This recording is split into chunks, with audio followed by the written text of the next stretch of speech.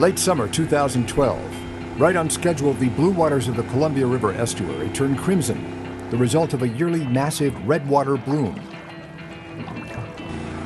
On the river, scientists from the Applied Physics Laboratory at the University of Washington. They're here to study the bloom. When you drive over the Astoria Bridge and you look down in the water, you see the water is red. And as a scientist, I'm interested in why the water can turn red, why a bloom can persist and grow when there's very strong currents. For two days, the APL team put the Columbia's Crimson Tide under the microscope. We had a ship in the middle of the channel at anchor. We had a plane in the air to give us the large spatial picture.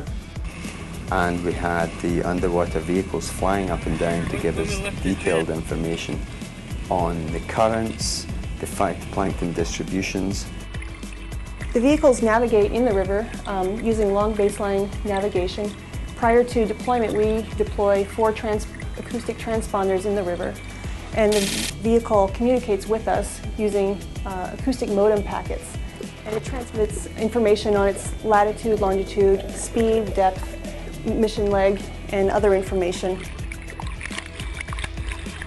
Onboard sensors also measure pigments in the river, turbidity, and dissolved oxygen in the water. The phytoplankton is highly productive, produces lots of oxygen, and removes carbon dioxide from the water.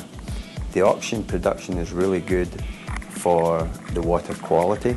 The red bloom being highly productive in producing oxygen in part mitigates the low oxygen coming in from the, from the ocean. And that's good because, for example, salmon need oxygen in the water to breathe. Probing the mysteries of the Columbia's crimson tides, APL partners with the Oregon based Center for Coastal Margin Observation and Prediction.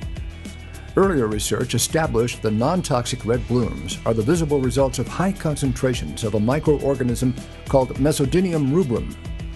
Our goal for this project is to map and try and understand the spatial and temporal distributions of the, the red bloom.